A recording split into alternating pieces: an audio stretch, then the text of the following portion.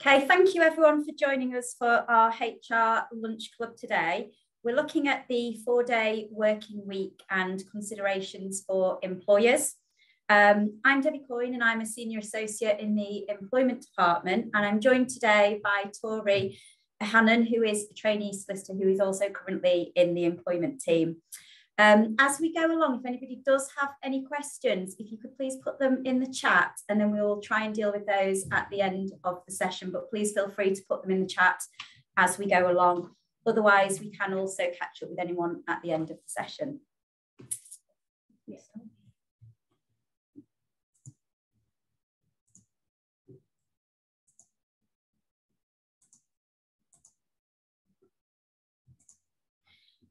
Okay, so the four day working week. Um, since the pandemic, we have seen a large change in the way in the ways of working across the globe and also in the UK, with many employers adopting new ways of working for their businesses, looking at an increase in flexibility and hybrid working, and also the, this is giving a lot of benefits to both businesses and the employees as well. So where else has the demand come from as well? There seems to be increased competition for talent in some sectors across the UK. And the UK is experiencing a labour shortage in some sectors. This means that job seekers have more choice of where they can take up their employment. So, in order to attract um, the best candidates, employers are looking at offering various benefits, including remote working and hybrid working, but many employees are actually saying that they would prefer a four day working week over financial benefits and other perks such as gym memberships. Um, so the four day working week will be desirable to candidates and assist those businesses in attracting talent, especially where there is a skills or labour shortage in their industry. We are also seeing um, employers promoting better mental health and well-being in the workplace. Employers are recognising that positive mental health and well-being is essential and that employees are also placing greater emphasis on work-life balance. Um, shorter weeks can lead to job and life satisfaction um, and reduce stress and burnout.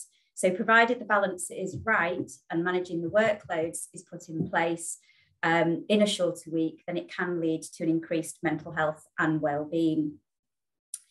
There's also a desire to increase workplace productivity.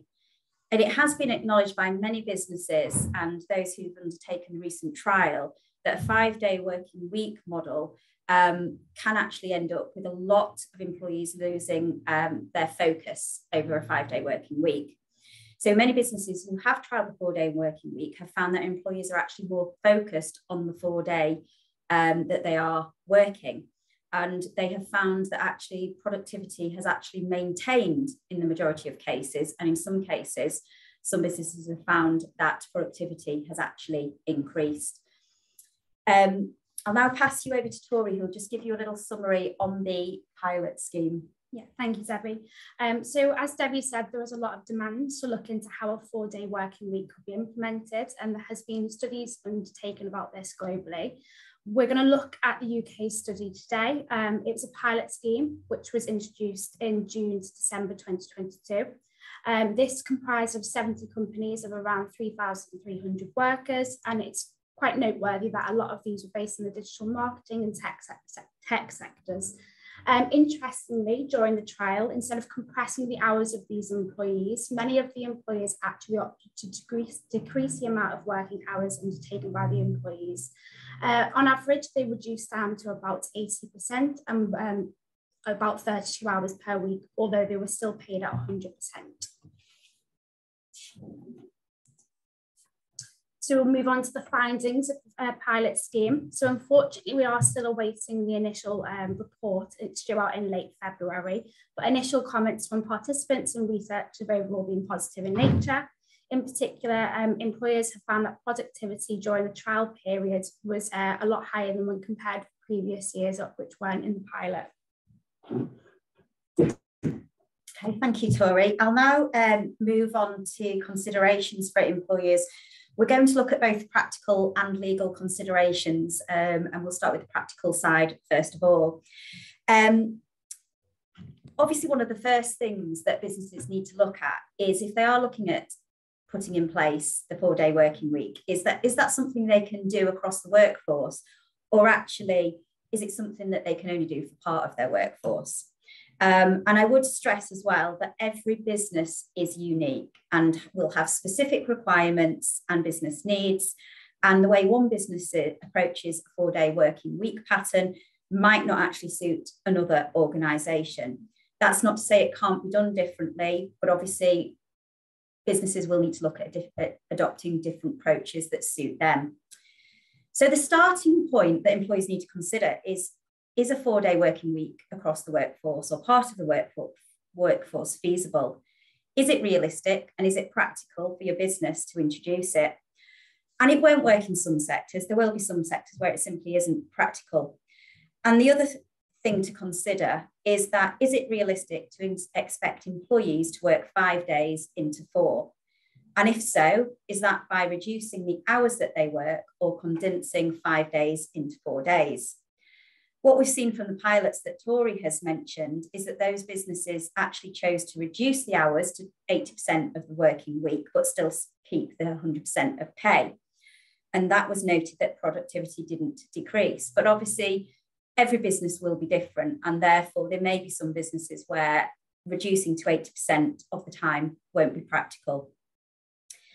So, how should the working hours be reduced? Um, so as, as I've said, businesses will need to consider whether they wish to keep the same hours or whether they wish to reduce them or perhaps go to something in between. So it might be a 90% of the working week. But if employers do elect to keep the requirement for the same number of hours, then you are going to need to increase the working day on those four days where employees are working. Um, and that in itself can also have potential implications for working time regulations. However, as long as employers have systems in place to ensure that there's adequate rest breaks, um, then that shouldn't be too problematic. But another thing is to bear in mind that if you are increasing the hours over those four days, that actually longer days may detrimentally impact certain employees. So, for example, those with childcare or other caring responsibilities, or those that may have disabilities and need shorter working days. So, longer days, whilst an employer may ensure that rest breaks are put in place, it may, however, mean that there is less of a rest break at the end of each working day and may potentially have the impact of leading to more of a burnout. So it's just those that you need to considerations that need to be made. And what about um, monitoring productivity if you do introduce a four day working week? So obviously that's going to be key. Um, and what we've seen from the pilot scheme is that they have monitored productivity over the trial period so they were able to compare it to the pro- productivity in the preceding years. Um, and many businesses, I'm sure, already have measures in place in how they mod- monitor productivity. But if you are going to put it in place and you're looking at a trial period, it really is key to have measures in place so that you can monitor it and you can compare to previous years so you can see if, if it's successful or not. Okay, another consideration for employers is how to deliver an off day. Many businesses in the trial decided to completely close their business on the off day. However, there will be many employers who cannot do so due to the service needs of their clients. Employers therefore may consider staggering the employees' off days to ensure that there are sufficient levels of cover. For instance, half the workers could be off on a Monday and half of them could be off on a Friday. If an employer is considering staggering the workforce off days, there is a few things that they would also need to bear in mind. So firstly, what is the minimum staffing levels? Can you actually serve the needs of customers with reduced staffing levels? There also may be an increase in work rate for those employees who are working on the days where there is a reduced level of staff. There also may be um, considerations about whether employees are able to change those off days and the systems you have to put in place to monitor staffing levels if they are able to change the off days. Um, and also you'd also have to put in a system or policy in respect of people being able to take holidays uh, on off days. So one of the things I mentioned earlier was whether or not the four day working week could be rolled out to um, the entire workforce or whether or not you're looking at certain departments. Um, and there certainly will be many employers who can't offer it to the entire workforce. So therefore, obviously, what those employees need to bear in mind is whether or not they may be potentially creating a division and potentially conflict in the workforce if they do implement the benefit for part of the workforce and not all of it, and how that could work across the organisation. They could also look at ways in which um, they could offer different benefits or different flexible working or patterns to those that they can't implement the four day working week for to try and ensure that they're treating all of their staff in the same way, albeit putting in place different um, different measures. Um, another thing employees would have to consider is um, what are the expectations of the employee when they're on an off day. Um, so here communication is really key with your employees. Some employers may require um, employees to be contactable on those days and as such you should always be taking advice on whether this would entitle them to claim overtime or time, um, time owing. Um, alternatively, if an employee is not able to be contacted on their off days, this should be clearly communicated to them and their team to ensure that they are not being disturbed. Um, and then also looking at alternatives to the four day working week. Um, I'm sure you're all aware that there is currently a legal right to request flexible working um, by individuals, uh, which could include somebody obviously asking for the four day working week um, or an alternative pattern or more flexibility, hybrid working, home working. There's many different types of requests that can be made. But obviously, usually that is considered on an individual basis, on a as and when requested. Um, and usually, if there is a reduction in hours, then the salary will be reduced to reflect the new working pattern. And obviously, there's no guarantee that those requests um, will be accepted, but employers do need to consider the requests in line with current legislation. So, if those employers who are thinking about looking at a four day working week, but actually are not sure it is going to work for the organisation, then there are other options that you can look at, some of which may already be in place. But home working, hybrid working, flexibility on hours work, and that can include um, when employees can travel to and from the office to try and avoid peak hours, because obviously that reduces the amount, you know, the amount of time that they've got, the amount of rest time they've got. Um, and some organisations are also looking at increased um, or unlimited holiday allowances. But obviously, if those are the sorts of things you're looking to introduce, then you need to consider the impact on the business. And we would recommend taking advice in respect of that. So if we move on now to um, some of the legal considerations. Um, consent and communication with the employees is absolutely key if you're going to be looking at implementing a four day working week. Um, a change in the working pattern will require employee consent. Um, whilst in the cases of a move to a four day working week at 80% of hours, but maintaining 100% of pay, will be much easier to obtain consent. Other patterns, for example, if you are looking at still keeping the five day hours, say 40 hours a week, but over four days, that is probably going to be much more difficult to obtain consent, certainly for some employees. Um, so, what are the first things you need to look at? Um, obviously, contracts and policies. The employers will need to reflect the change in the contracts of their employees and ensure that all parties are clear of the expectations. So you can't unilaterally change the contract of employee, and there you will need to consult with them in relation to the changes you wish to implement.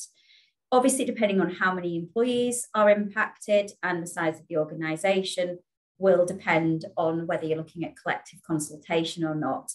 Um, if, however, there are more than 20 employees and you may be considering um, terminating their employment and offering re engagement on the new terms with the new working pattern, if they don't agree, then you would need to consider collective consultation. Another thing that you might want to look at as well before going down that route is you could also send out um, questionnaires, um, ask for feedback for employees as if this was something we were introduced, what would people think about it? What would they like to see? How do they see that working? And there you, you might get a little bit of a heads up if actually that sort of pattern might create problems for some employees or whether they actually would be interested in that um, format as well. So if you do put it in place and you put a trial period, um, how easy is it to change back to the five days? Well, if it's been made very clear that you're going to have a trial period, you're going to monitor productivity, see how it works. And if at the end of that six months or however long the trial period is, you don't think it's working, then provided you've made that very clear from the outset, then you should be able to revert back to the normal five day pattern without consultation. Um, but obviously, if there's no right to revert, revert back to the previous pattern, then you may need to look at a period of consultation and consent again. Just as well to bear in mind that obviously the longer it goes on, so if after the six months you think it is working, but then perhaps another year down the line you actually decide that no, actually, I'm not sure this is working in the way we thought it was. The longer it goes on for, the more likely it is that you will need to go through a period of individual consultant consultation and um, potentially um, collective consultation as well. Otherwise, you may be at risk of claims for constructive unfair dismissal. Another legal consideration for employers is that this change may affect holiday entitlement of employees. It would um, have an effect if the employee had begun to, be, um, to work reduced hours.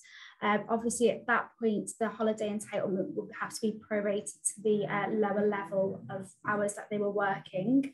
This is one of the main disadvantages for employees of the four working week um, where they have reduced hours. So you need to be reminded just to fully consult with your employees to ensure that they are aware of this. Although obviously if you did obtain consent, this would be a big cost saving for businesses if they were agreeable to the change. Um, another consideration uh, for employers would be how to treat their part-time workers. Uh, it's probably the case that many businesses do already employ people on a part-time basis and they may, for instance, already work a four-day working week. Businesses should be minded not to put these employees at a disadvantage, as any less favourable treatment may result in discrimination claims, particularly if that employee falls within a protected group. So ways of ensuring that there be no disadvantage obviously will differ based on businesses' um, abilities to, to, deal with this, but it, it, should be something like reducing the hours or increasing the pay uh, of the, those employees to reflect the same benefit that the full-time employees get. So looking at exclusivity um, considerations and conflict of interests, obviously, if an employer does move to a four day working week and employees find themselves that they've actually got an extra day, they may look at taking up another job, another part time role elsewhere. They may also look at potentially um, trying to develop their own business during that time. So many contracts already have um, exclusivity clauses in place and clauses to deal with conflicts of interest. But obviously, if you are looking at this arrangement, then you need to really think about what you want those individuals to be able to do on their day off. Because if if you don't mind them going and picking up a part-time job, which might be something completely, um, you know, it's completely different to their job, that's absolutely fine. Some people might decide to take up charity work, for example, but obviously it could create a massive conflict of interest with the business. And also, if one of the reasons for implementing the four day working week is for ensuring that employees have rest time um, and they're not working so many hours a week, then obviously that could be a, something that you want to sort of look at and make sure that you've got the contractual arrangements in place to deal with that.